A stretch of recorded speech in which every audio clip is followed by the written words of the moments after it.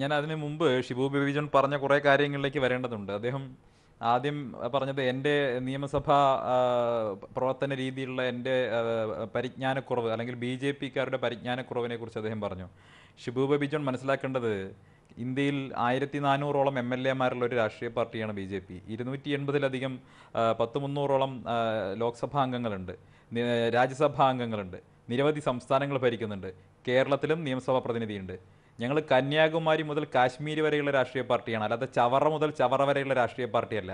അതുകൊണ്ട് അങ്ങയുടെ രാഷ്ട്രീയ പാർട്ടിയിൽ നിന്ന് ജനാധിപത്യ രീതികൾ പഠിക്കേണ്ട ഒരു സാഹചര്യം ഞങ്ങൾക്ക് വന്നു ചേർന്നിട്ടില്ല. ഞങ്ങൾ കൃത്യമായി കാര്യങ്ങൾ മനസ്സിലാക്കിയിട്ടാണ് പ്രതികരിക്കുന്നത്. ഇന്ത്യയുടെ ജനാധിപത്യ പാരമ്പര്യത്തിൽ പ്രതിപക്ഷം അവിശ്വാസ പ്രമേയം അവതരിപ്പിക്കുന്നത് സാധാരണഗതിയിൽ വിജയിക്കില്ല എന്ന് ഉറപ്പുള്ള ഒരു അവിശ്വാസ പ്രമേയം അവതരിപ്പിക്കുന്നത് ഒരു ലാസ്റ്റ് റിസോർട്ട് എന്ന രീതിയിലാണ്. അതാണ് ഞാൻ നേരത്തെ പറഞ്ഞത്. അവസാനത്തെ ആയുധം എന്നുള്ള രീതിയിലാണ്. നിങ്ങൾ സമരങ്ങൾ മുഴുവൻ ചെയ്ത് തീർന്നതിന് ശേഷം ഒരു ജനാധിപത്യത്തിന്റെ വേദിയിൽ അവസാനത്തെ ആയുധം എന്ന നിലയിലാണ് ഇത്തരം ടെക്നിക്കലായിട്ട് പരാജയപ്പെടും എന്ന് ഉറപ്പുള്ള അവിശ്വാസ പ്രമേയം അവതരിപ്പിക്കുകയും അവിടെ സഭയ്ക്കുള്ളിൽ വെച്ച് സർക്കാരിനെതിരായിട്ടുള്ള നിശിതമായിട്ടുള്ള വിമർശനങ്ങൾ നടത്തുകയും ചെയ്യുന്നത്. നിങ്ങൾ സമരങ്ങൾ മുഴുവൻ നടത്തിയിട്ടാണോ ഈ അവിശ്വാസ പ്രമേയത്തിന് നോട്ടീസ് കൊടുത്ത്? അല്ല. നിങ്ങൾ ആദ്യ ഘട്ടത്തിൽ തന്നെ പിണറായി വിജയൻ സർക്കാർ പ്രതിരോധത്തിലാവുന്ന ആദ്യ ഘട്ടത്തിൽ തന്നെ കൊണ്ടുപോയി ഈ അവിശ്വാസ പ്രമേയത്തിന് നോട്ടീസ് കൊടുക്കുകയാണ്. എന്തിനായിരുന്നു നിങ്ങൾ ആ സമയത്ത് അവിശ്വാസ പ്രമേയത്തിന് നോട്ടീസ് കൊടുത്തത്? എന്നിട്ട് അവിശ്വാസ പ്രമേയം അവതരിപ്പിച്ച ദിവസം നിങ്ങൾ ചെയ്ത പണി എന്താ? നിങ്ങൾക്ക് ഈ സർക്കാരിൽ അവിശ്വാസം ഉണ്ടായിരുന്നെങ്കിൽ നിങ്ങൾ നോട്ടീസ് കൊടുത്തല്ലോ. ഈ പിണറായി വിജയൻ സർക്കാരിൽ ഞങ്ങൾക്ക് അവിശ്വാസമാണെന്ന് പറഞ്ഞ് നിങ്ങൾ നോട്ടീസ് കൊടുത്തല്ലോ. എന്നിട്ട് നിങ്ങൾ അന്ന് രാവിലെ ചെയ്ത പണി എന്താ? തിരുവനന്തപുരം വിമാനത്താവളത്തിന്റെ പ്രൈവറ്റൈസേഷനുമായി ബന്ധപ്പെട്ട് അതേ നിങ്ങൾ അവിശ്വാസം രേഖപ്പെടുത്തുന്ന അതേ സർക്കാർ കൊണ്ടുവന്ന പ്രമേയത്തെ നിങ്ങൾ പിന്തുണച്ചു. നിങ്ങൾ ഈ ജനങ്ങളെ മുന്നിൽ ഇങ്ങനെ പരിഹാസ്യരാവണോ? അന്ന് അന്നത്തെ ദിവസം നടന്ന കാര്യമാണ്? ജനങ്ങൾ ഇതൊന്നും മറന്നിട്ടില്ല ഷിബു. നിങ്ങൾ അവിശ്വാസ പ്രമേയം ഉച്ചയ്ക്ക് ശേഷം അവതരിപ്പിക്കുന്നു. രാവിലെ നിങ്ങൾ അതേ സർക്കാർ കൊണ്ടുവന്ന പ്രമേയത്തെ നിങ്ങൾ പിന്താങ്ങി പാസ്സാക്കുന്നു. അതെവിടുത്തെ അവിശ്വാസമാണ്? നിങ്ങൾക്ക് സർക്കാരിൽ അവിശ്വാസമുണ്ടെങ്കിൽ ചുരുങ്ങിയ പക്ഷം ആ ദിവസമെങ്കിലും കൺസിസ്റ്റന്റ് ആയിട്ടുള്ള ഒരു നിലപാടെടുക്കാൻ സാധിക്കണ്ടേ? നിങ്ങൾ എടുത്തില്ലല്ലോ? എന്തുകൊണ്ട് ഈ വിഷയം മുന്നോട്ട് പോയി? അന്ന് സെക്രട്ടേറിയറ്റിൽ തീപിടുത്തം ഉണ്ടാവുകയും രാഷ്ട്രീയ സമരം ബി ജെ പി ഏറ്റെടുക്കുകയും ബി ജെ പിയുടെ സംസ്ഥാന അധ്യക്ഷൻ സെക്രട്ടേറിയറ്റിലേക്ക് കടന്നു ചെല്ലുകയും വലിയൊരു രാഷ്ട്രീയ പ്രക്ഷോഭമായി ബി ജെ പി ഇത് തെരുവിൽ ഏറ്റെടുക്കുകയും ചെയ്തുകൊണ്ടാണ്. ഷിബു ഇവിടെ അവഹേളിച്ചുകൊണ്ട് പറഞ്ഞു മഹിളാ മോർച്ചയുടെ സമരം പെണ്ണുങ്ങൾ സമരം ചെയ്തു എന്ന് ഷിബു അങ്ങനെയൊന്നും പറയരുത്. നിങ്ങൾ ആ സമരത്തെ കുറച്ചുകൂടി സ്ത്രീകൾ ചെയ്ത സമരം ഞാൻ വീണ്ടും ആവർത്തിക്കുന്നു. കേരളത്തിന്റെ ചരിത്രത്തിൽ സമാനതകളില്ലാത്ത സ്ത്രീ മുന്നേറ്റമാണ്.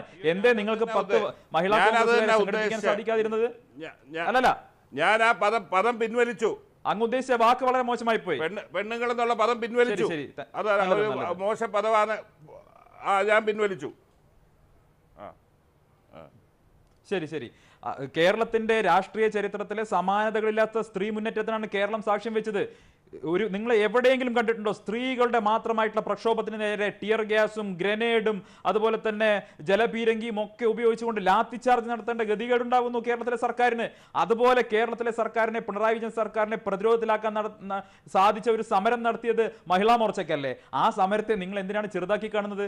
നിങ്ങളുടെ ഏതെങ്കിലും ഒരു മഹിളാ സംഘടനയ്ക്ക് സാധിച്ചോ? നിങ്ങളുടെ സംസ്ഥാനത്ത് ഏതെങ്കിലും ഒരു മഹിളാ നേതാവിന് അതുപോലെ അടികൊണ്ടോ അതുപോലെയുള്ള സമരങ്ങൾ സംഘടിപ്പിക്കാൻ സാധിച്ചോ? ഇല്ലല്ലോ കേരളത്തിലെ പ്രധാനപ്പെട്ട മാധ്യമ പ്രവർത്തകർ തന്നെ സാമൂഹ്യ മാധ്യമങ്ങളിൽ പറഞ്ഞു മഹിളാ മോർച്ചയെ കണ്ടുപിടിക്കണം മഹിളാ കോൺഗ്രസ് എന്ന്. ഞാൻ ചോദിക്കട്ടെ ഇവിടെ ഇടതുപക്ഷത്ത് മഹിളാ സംഘടനകൾ ഉണ്ടായിട്ടുണ്ടോ? എത്രയോ കാലം ഇവിടെ സമരങ്ങൾ നടന്നിട്ടുണ്ട്. എത്ര മഹിളാ ജനാധിപത്യ മഹിളാ അസോസിയേഷൻ അത്തരത്തിൽ സമരം നടത്തിയിട്ടുണ്ടോ? ഇല്ല എന്നുള്ളതാണ് വസ്തുത. യുവമോർച്ച നടത്തിയ സമരം യുവമോർച്ച കേരളത്തിൽ ഉടനീളം നടത്തിയിട്ടുള്ള സമരങ്ങൾ ആ സമരത്തിന് നേരെ പിണറായി വിജയൻ സർക്കാർ നടത്തിയിട്ടുള്ള ഇവിടെ പോകാൻ പോവുകയാണെന്നാണ് ശ്രീ ഷിബു അതെ ഞാൻ അതിലേക്കാണ് വരുന്നത് ഷിബു ബേബി ജോൺ തന്നെ അക്നോളജ് ചെയ്തു. നിങ്ങൾ ഇവിടെ തെരുവിൽ രക്തം ഒഴുക്കിയിട്ട് കാര്യമില്ല എന്ന് ഷിബു പറഞ്ഞു. പക്ഷെ ഞാൻ ഷിബുവിനോട് വിനയപൂർവം ഓർമ്മിപ്പിക്കാൻ ആഗ്രഹിക്കുകയാണ് അദ്ദേഹത്തെ.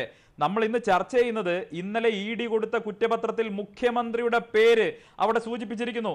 കോടിയേരി ബാലകൃഷ്ണൻ ഇന്നിപ്പോ നിങ്ങൾ പറഞ്ഞ് സോഫ്റ്റായി എന്ന് പറഞ്ഞ കോടിയേരി ബാലകൃഷ്ണന്റെ മകനെ കള്ളപ്പണം വെളുപ്പിക്കൽ കേസിൽ പ്രതിയാക്കി കഴിഞ്ഞു. ബംഗളൂരുവിലേക്ക് ബംഗളൂരുവിലേക്ക് വിളിച്ച് മയക്കുമരുന്നുമായി ബന്ധപ്പെട്ട കേസിൽ ചോദ്യം ചെയ്തു കഴിഞ്ഞു. ഒരു സാഹചര്യമാണ് നിൽക്കുന്നത്. പ്രതിയാക്കിയോ? അല്ല കള്ളപ്പണ കേസിൽ പ്രതിയാക്കിയല്ലോ. അല്ല കള്ളപ്പണം വെളുപ്പിച്ചതുമായി ബന്ധപ്പെട്ട കേസിൽ പ്രതിയാക്കിയല്ലോ. കള്ളപ്പണം വെളു- അല്ല അല്ല കള്ളപ്പണം വെളുപ്പിച്ചതുമായി ബന്ധപ്പെട്ട കേസിൽ ബിനീഷ് കൊടിയേരി പ്രതിയാണ്. ഞാൻ ഞാൻ പൂർത്തിയാക്കട്ടെ ഞാൻ പൂർത്തിയാക്കട്ടെ.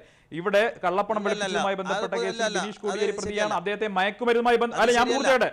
അല്ല മയക്ക് മയക്കുമരുന്നുമായി ബന്ധപ്പെട്ട കേസ് അല്ല ഞാൻ പൂർത്തിയാക്കട്ടെ. മയക്കുമരുന്നുമായി ബന്ധപ്പെട്ട കേസിൽ അദ്ദേഹത്തെ ചോദ്യം ചെയ്തു വരുന്നു? സി പി എമ്മിന്റെ സമുന്നതരായ നേതാക്കൾക്കെതിരെ സമുന്നതരായ നേതാക്കൾക്കെതിരെ സമുന്നതരായ നേതാക്കളുടെ മക്കൾക്ക് നേരെ മുഖ്യമന്ത്രിക്ക് നേരെ വരെ പരാമർശം വന്ന രീതിയിലേക്ക് അന്വേഷണ ഏജൻസികൾ എത്തിച്ചേർന്നു. ഇന്ന് ഒരു സെക്കൻഡ് സബ്ജക്ട് കറക്ഷൻ നിങ്ങൾ നിങ്ങൾ കറക്റ്റ് ചെയ്തോ? നിങ്ങൾ കറക്റ്റ് ചെയ്തോ? സബ്ജക്ട് കറക്ഷൻ ഇവിടെ ഞാൻ അറിഞ്ഞില്ല. അങ്ങനെ- ഓഫീസിലേക്ക് എത്തുമ്പോ. അങ്ങനെ ഉണ്ടെങ്കിൽ അല്ല, അങ്ങനെ ഉണ്ടെങ്കിൽ അത് വലിയ വാർത്തയാണ്. ഇടപെടേണ്ട? ഇങ്ങനത്തെ കളവ് പറയുന്ന സമയത്ത്. എനിക്കറിയില്ല ഞാൻ അറിയാത്ത ഇനി അന്വേഷണ ഏജൻസികളിൽ നിന്ന് ശ്രീ സന്ദീപ് ആരോഗ്യം കിട്ടിയതാണോ എന്നറിയില്ല.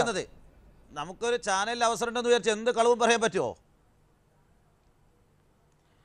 അല്ല അല്ല അല്ല അല്ല ഇവിടെ ബിനീഷ് കോടിയേരിക്കെതിരെ ഇ ഡിയുടെ കള്ളപ്പണം വെളുപ്പിക്കൽ കേസ് ഉണ്ട് ഇല്ലെന്ന് ആര് പറഞ്ഞു?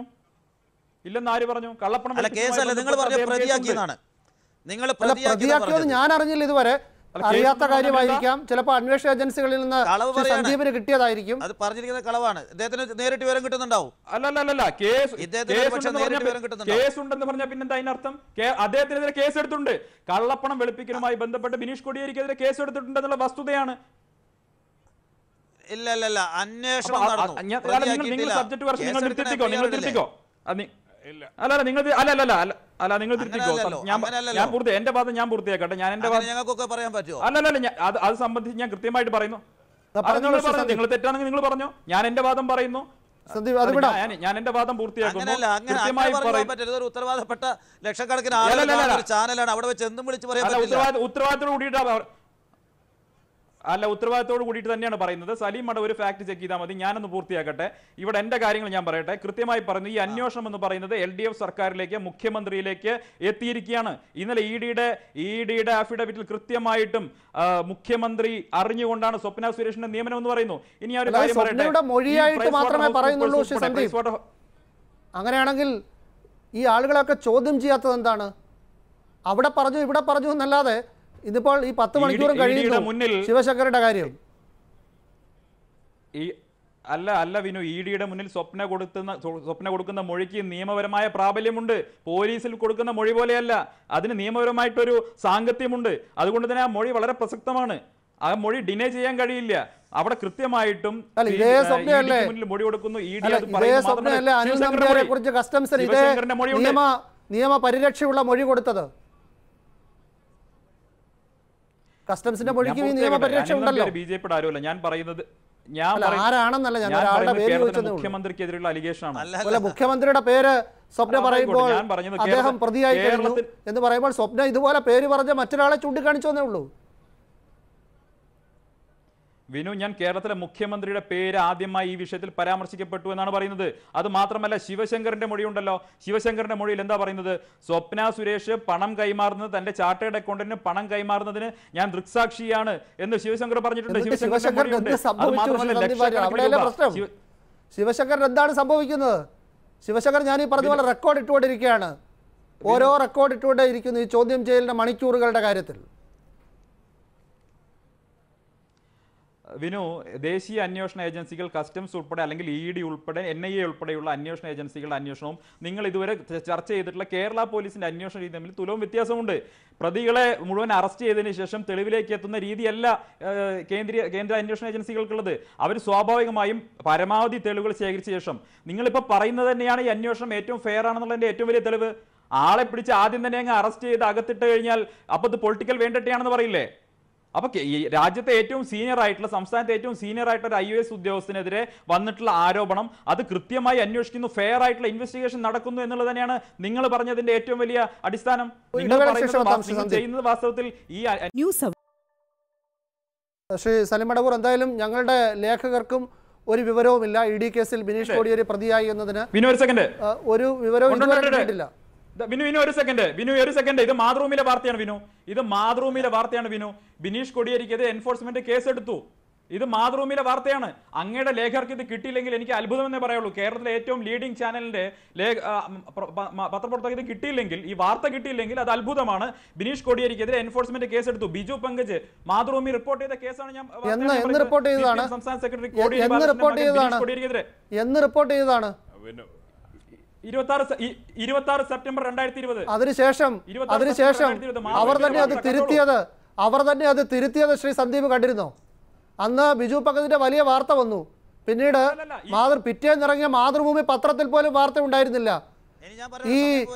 സ്വത്ത് വിവരങ്ങൾ അന്വേഷിക്കാൻ പറഞ്ഞു. മാതൃഭൂമി സ്വത്ത് വിവരങ്ങൾ അന്വേഷിക്കാൻ പറഞ്ഞു. അത് മര എനിക്ക് സംസാരിക്കാം. അതിന്റെ ട്രാൻസാക്ഷൻസ് രജിസ്ട്രേഷൻ. വകുപ്പിനോട് ആവശ്യപ്പെട്ടു എന്ന് പിറ്റേന്നത്തെ മാതൃഭൂമി പത്രത്തിൽ ഇപ്പോൾ നിങ്ങൾ ഈ കാണിച്ച ഈ വാർത്ത പിറ്റേ ദിവസത്തെ മാതൃഭൂമി പത്രം പോലും ഏറ്റെടുത്തില്ല. അല്ല ഞാൻ മാതൃഭൂമി മാത്രമല്ല ഞാൻ മാധ്യമങ്ങൾ ഇക്കാര്യം റിപ്പോർട്ട് ചെയ്തിട്ടുണ്ട്. മാതൃഭൂമി ഏറ്റെടുത്തോ ഏറ്റെടുത്തില്ല എന്ന് കഴിഞ്ഞ ഒരു ഇല്ലാതെയായിരുന്ന ഒരു വാർത്തയുടെ പേരിലാണ്. ചർച്ച ഇങ്ങനെ കൊണ്ടുപോലെ ശ്രീ എനിക്ക് ഒരു മാധ്യമത്തോടും ഒരു വിരോധവുമില്ല. അതുകൊണ്ടാണല്ലോ അതുകൊണ്ടാണല്ലോ കെ ടി ജലീലിന്റെ ഈ തലയിൽ മുണ്ടിട്ട് പോകുന്ന ചിത്രം ആദ്യമായി പകർത്തിയ അനിൽ ഇമ്മാനുവലിനെയും ഞാൻ അഭിനന്ദിച്ചത്. ശ്രീ